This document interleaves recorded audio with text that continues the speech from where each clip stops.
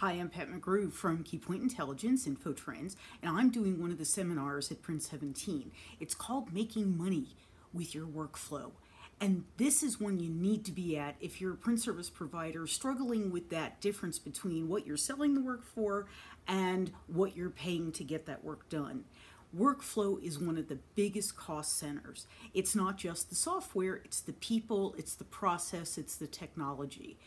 In this presentation, we're going to talk about all the touch points in workflow and what the sticking points are and how you can get around them. So come and join me on Wednesday morning at 9 a.m. for making money with workflow. And I can't wait to see. If you've got questions ahead of time, go ahead and email me, pat.mcgrew at infotrends.com, and I'll be happy to make sure that I address them in the session. See you there.